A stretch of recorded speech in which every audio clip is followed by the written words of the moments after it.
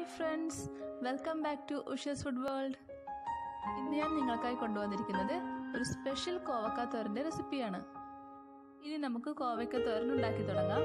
അതിനായി പച്ചമുളക് ഉള്ളി വെളുത്തുള്ളി ജീരകം കറിവേപ്പില എന്നിവ എടുത്തിട്ടുണ്ട്. ഒരു ഒമ്പത് ഉള്ളിയാണ് ഞാൻ എടുത്തിട്ടുള്ളത്. രണ്ട് പച്ചമുളക് അര ടീസ്പൂൺ ജീരകം കുറച്ച് കറിവേപ്പില രണ്ടല്ലി വെളുത്തുള്ളി ഇതിലേക്ക് കാൽ ടീസ്പൂൺ മഞ്ഞൾപ്പൊടിയും ചേർത്ത് നമുക്കൊന്ന് ചെറുതായി ചതച്ചെടുക്കാം. മിക്സർ ജാറിലിട്ടാണ് ഞാൻ ഇത് ചെയ്തിട്ടുള്ളത്. ഇനി ഇതിലേക്ക് ഒരു കപ്പ് ചിരകിയ തേങ്ങയും കൂടി ചേർത്ത് ചെറുതായി ഒന്ന് ചതച്ചെടുക്കാം. കൂടുതലായിട്ട് അരഞ്ഞു പോകാണ്ടിരിക്കാൻ ശ്രദ്ധിക്കണം. അര കിലോ കോവയ്ക്കാണ് ഞാൻ ഇവിടെ എടുത്തിട്ടുള്ളത്. ഇത് ചെറുതായി അരിഞ്ഞ് ഒരു പാത്രത്തിലിട്ട് നമുക്ക് വേവിക്കാൻ വേണ്ടി വെക്കാം. ഇതിലേക്ക് ആവശ്യത്തിന് ഉപ്പ് ഒരു നുള്ളു മഞ്ഞൾപ്പൊടി കാൽ കപ്പ് വെള്ളം എന്നിവ ചേർത്ത് നമുക്ക് നന്നായി മിക്സ് ചെയ്ത് കൊടുക്കണം. അതിനുശേഷം നമുക്ക് സ്റ്റവ് ഓൺ ചെയ്യണം. ഹൈ ഫ്ലെയിമിൽ വെച്ച് കോവക്കയിലുള്ള വെള്ളമെല്ലാം തിളച്ചതിന് ശേഷം നമുക്ക് സ്റ്റവ് മീഡിയം ഫ്ലെയിമിലോട്ട് മാറ്റണം. മൂടി വെച്ചിട്ട് വേണം ഇതെല്ലാം ചെയ്യാൻ. അതല്ലെങ്കിൽ വെള്ളമെല്ലാം പെട്ടെന്ന് തന്നെ വറ്റിപ്പോവും ഇപ്പോൾ കോവക്കയെല്ലാം വെന്തിട്ടുണ്ട്. ഇതിൽ അല്പം മാത്രം വെള്ളം ബാക്കിയുണ്ട്. ആ സമയം നമുക്ക് നേരത്തെ ചതച്ചു വെച്ചിരിക്കുന്ന തേങ്ങ ഇതിലേക്ക് ചേർത്ത് കൊടുക്കാം. ഈ സമയം സ്റ്റൗ ലോ ഫ്ലെയിമിലാവാൻ പ്രത്യേകം ശ്രദ്ധിക്കണം. ഇത് നമുക്ക് നന്നായി മിക്സ് ചെയ്ത് കൊടുക്കണം. ഉപ്പ് കുറവുണ്ടെങ്കിൽ നമുക്ക് ഈ സമയത്ത് ചേർത്ത് കൊടുക്കാവുന്നതേ ഉള്ളൂ. ഇനി നമുക്കിത് മൂടി വെച്ച് ഒരു രണ്ട് മിനിറ്റ് വേവിച്ചെടുക്കാം. തേങ്ങയുടെയും പച്ചമുളകിന്റെയും എല്ലാം പച്ചമണം മാറാൻ വേണ്ടിയാണ് ഇങ്ങനെ ചെയ്യുന്നത്. ഇനി ഇതിലേക്ക് കുറച്ച് വെളിച്ചെണ്ണയും കൂടി നമുക്ക് ചേർത്ത് കൊടുക്കാം. ഏകദേശം ഒരു ടീസ്പൂൺ വെളിച്ചെണ്ണ മാത്രം ചേർത്താൽ മതിയാവും. പച്ച വെളിച്ചെണ്ണയുടെ ടേസ്റ്റ് കൂടുതൽ താല്പര്യമുള്ളവർക്ക് കൂടുതൽ ചേർക്കാം. വെളിച്ചെണ്ണ ചേർത്തതിന് ശേഷം നമുക്ക് നന്നായി ഇളക്കി കൊടുക്കാം. അതിനുശേഷം നമുക്ക് ഫ്ലെയിം ഓഫ് ചെയ്ത് ഒരു രണ്ട് മിനിറ്റ് മൂടി വെക്കാം.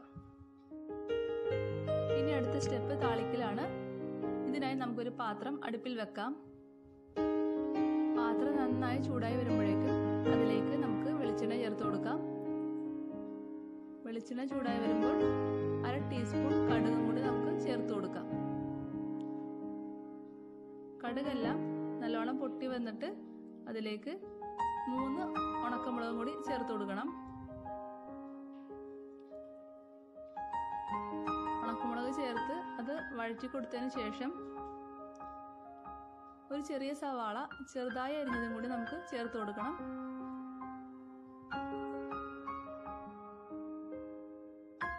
സവാള പെട്ടെന്ന് വഴന്ന് കിട്ടാൻ വേണ്ടി നമുക്കിതിലേക്ക് കുറച്ച് ഉപ്പും കൂടി ചേർത്ത് കൊടുക്കാം. സവാള കുറച്ചും കൂടി നേർപ്പിച്ചരിഞ്ഞാൽ പെട്ടെന്ന് വഴന്ന് കിട്ടും. അത്ര സമയം നമുക്ക് ലാഭിച്ചെടുക്കാം. സ്റ്റൗ മീഡിയം ഫ്ലെയിമിലാക്കാൻ പ്രത്യേകം ശ്രദ്ധിക്കണം. അതല്ലെങ്കിൽ സവാള എല്ലാം പെട്ടെന്ന് തന്നെ കരിഞ്ഞു പിടിക്കും. ഇനി ഇതിലേക്ക് നമുക്ക് കുറച്ച് കറിവേപ്പില ഇട്ട് കൊടുക്കാം.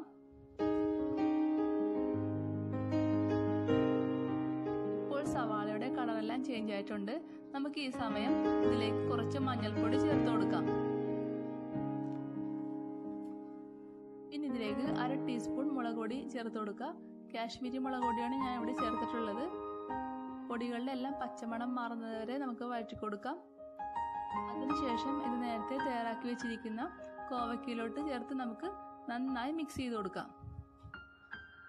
കോവക്കയുടെ എല്ലാ ഭാഗങ്ങളിലും താളിച്ചെടുത്ത ഗ്രേവി എത്തണം. ആ രീതിയിൽ വേണം മിക്സ് ചെയ്ത് കൊടുക്കാൻ. നന്നായി തന്നെ മിക്സ് ചെയ്യണം. ഈ കോവയ്ക്ക തോരന് പ്രത്യേക രുചിയാണ്. എല്ലാവരും ഇത് ട്രൈ ചെയ്ത് നോക്കണം.